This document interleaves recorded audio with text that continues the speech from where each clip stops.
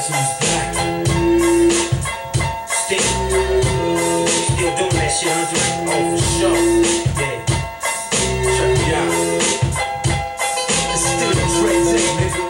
AK, nigga. Who I the block, can't keep it home a lot. I frequent spots that I'm known to rock, you hear the bass from the truck when I'm on the block. Ladies, they Welcome to Bread and Circus. Today's show is uh where's all my um psychiatrists? Psychiatrists. Hmm. I gotta really start doing these shows like earlier, not at like 3.30 or 4 in the morning. Where are my psychology majors, my psych majors, huh? You know, the ones that say, oh, I want to do psychology. They really have no idea what they're talking about because as we know, psychology is a broad spectrum. Like, I mean, what do you mean? You want to do clinical? You want to do relational? You want to do like what? Child? You, social work? Like, what kind of, you know, what? What do you want to do? That's just like me saying I want to do communications. What do you want to do in communications? Communicate. Today we're going to be talking about genetics, nature versus nurture. You know, what brought me to this subject in the first place was you know, I'm sitting in class and I'm paying attention to the lecture. The lecture being nature versus nurture. For those inquiring minds out there, nature is the inherited traits of the genetic composition of an individual. You guys understand that, right? That, that you know, that, that's his nature. Like, this guy's angry. It's part of his nature. Something like that. Nurture Nurture refers to environmental influences which which molds a person's behavior. So basically, you guys heard Jim Jones, right? He's ballin'. Jim Jones. His album was called Product of My Environment. Jim Jones, unknowingly or knowingly, was referring to nurture because his upbringing, his interactions with the environment, being an underprivileged African American and what is he? Some he's mixed. He's some type of hybrid. Altered the way he was.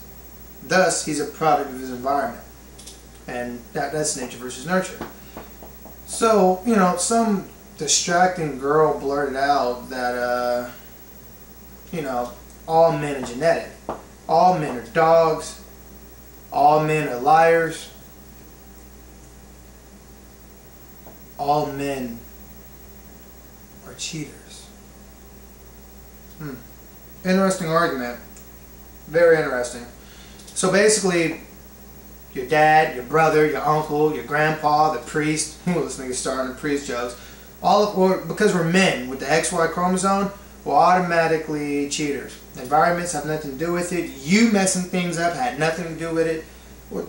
You know, let's don't flip the scripts. That's just like saying that all women are hoes, which is nonsense. But, you know, that has nothing to do with it. It's just, just a linear approach. You know, and I had to put her in her place. I was like, well, logically speaking, I'm like, if that's really, that's, so your, your dad is, no, not my dad.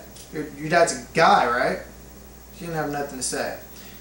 I'm like, your linear way of approaching things is probably the reason why there's so many single men in this city. Like, come on, you, you're in school. You need to broaden. Well, you know what? I'm glad you're here. I mean, at least you're trying to uh, broaden your horizons and stuff like that. Now, I bring up this situation because it introduces a broader problem in our country. You know, it's genetic. Oh, it's genetic, so there's nothing we can do about it. Let's just spend millions of dollars with the healthcare industry and throw pills at everybody. Sounds interesting, right? How many people you know, or maybe you yourself, has been diagnosed with ADD or ADHD, which a lot of people think that these are genetically programmed diseases, like you're just stuck with it. It's nonsense. Know, there's an Austrian physician, his name is Dr. Gabor Mate. He specializes in the study of treatment and addiction, stated that there are few people who actually have these genetically programmed diseases. Heart attacks, stroke, breast cancer. These are not genetically, these are not determined you know what I mean? It's not. It's not determined by genetics. Now let's get something straight here. Because genes, that's what we're talking about, are not just things that make us behave in a certain way, regardless of the environment. Genes allow us to express ourselves in a variety of ways to the environment. Example, raising a child in the hood versus raising a child. I got a better example. Raising your child in the mean streets of Temecula versus raising your child in City Heights in San Diego, Southeast. Chances are these kids are going to be very different. And that's basically what we're talking about, how the environment really plays a role. Now, let's take uh, suicide victims, for example. An autopsy was done in Ontario on the brains of suicide victims. Turns out that people who commit suicide are normally young adults. You knew that, who have been abused as children. You probably knew that. The abuse causes genetic change in the brain that are absent in the brains of those who have not been abused. You probably didn't know that. That's called the epigenetic effect. Epigenetic being our word of the day. Now, epigenetic means it's the accurate process by which genetic information is modified by its environmental influences, which is then translated into you know substance or behavior of an organism. So basically, the epigenetic influence is what happens environmentally to either deactivate or activate a certain gene. You know, the gene to commit violence, or the gene to act crazy, or the gene to steal things. It's activated by something that has happened to you you know, you understand what I'm trying to say? Now, let's apply what we just told you, or time out. It was already done. There's an experiment in New Zealand in a town called Dunedin. They took a thousand individuals and studied them from birth till they were in their mid-20s. In this experiment, the scientists actually found out that they could identify genetic mutation of an abnormal gene that had basically had the predisposition to commit violence. But this was found only in people who have been subjected to incredible, immense child abuse. Basically, a child with this abnormal gene would be no more likely to commit a crime, and in fact, may even have a lower percentage to commit a crime versus children where their abnormal gene was absent. So, just as long as the kid with their normal gene was not abused, he would be just fine. Well, let's ponder that experiment, which was picked apart by the media for obvious reasons, because the media is probably in bed with, I don't know, the government who finances the hospitals. I don't say finances, but they back the hospitals. You know how it is. Now let's think about the idea. Let's examine some kids that may have the abnormal gene and predisposition for ADD. Let's ensure that these kids are in a much more stimulated environment than your average kid. I'm pretty sure they'll overcome that deficit. Want to know why? Because I did. I was diagnosed with ADD, ADHD, STUPID, anything. That's stupid. Not. I was actually diagnosed with SMART. Nah. But, uh, you know, my mom, God bless her soul, I love you, mom. Hi, mom. My mom would not allow that to happen. Now look at me. I mean, I'm in college. I we're going to talk about me later. Obviously, I didn't succumb to my pre-genetic disposition of ADD. So, let's go back to the contemporary sense that uh, that chicken head that I just that chicken head that I just uh, talked about earlier. You know, since genetic males or black men with attitude or genetics, you know, she was basically saying that there is an automatic genetic contribution to how we respond to environment.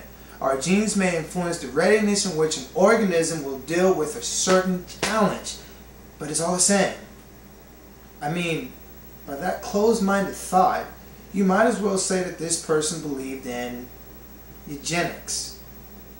So let's say we do, for argument's sake, believe that, hey, it is genetics, but we can't do anything about it. Let's apply violence to this predetermined problem. You know what that means, right? Well, I'm going to leave you hanging. I'll let you know what that means when I get to, you know, part two of what I have to say. No, you know, forget it. I'm going to tell you right now. Alright? So let's not change, let's, um, let's say, you know, let's not do anything about it. You know, let's say, hey, he's violent. You know what that means? Scrap the idea of preventative measures.